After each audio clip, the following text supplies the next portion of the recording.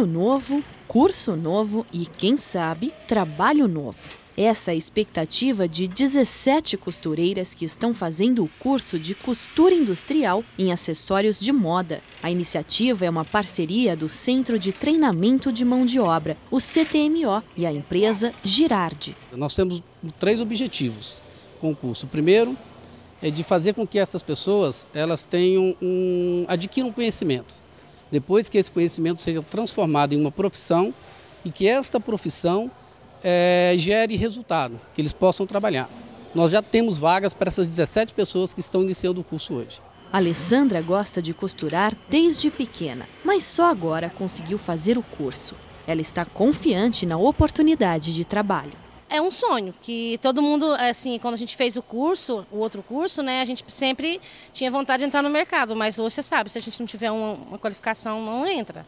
E aí eu acho que todas nós aqui estamos sonhando com esse emprego. O curso tem carga horária de 85 horas. Começa no CTMO e a parte prática é dada na empresa. As alunas ganham vale transporte e lanche pregar zíper em bolsa, passar o vivo, passar viés, é isso que elas estão aprendendo. Mas agora já estão saindo muito bem.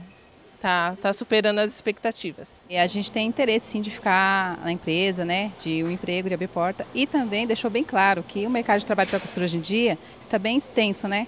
Então, caso a gente fique aqui, tem outras portas abertas para a gente. A intenção é que o curso não acabe por aqui. Todas as alunas vão receber certificado e estarão aptas a entrar no mercado de trabalho. A gente tem conversado bastante com, é, com o setor privado, é, buscando outras parcerias. Com a Girardi especificamente, a gente tem a expectativa de fazer umas duas turmas aqui ainda. Quer saber mais sobre Guarulhos? Acesse o site www.guarulhos.sp.gov.br.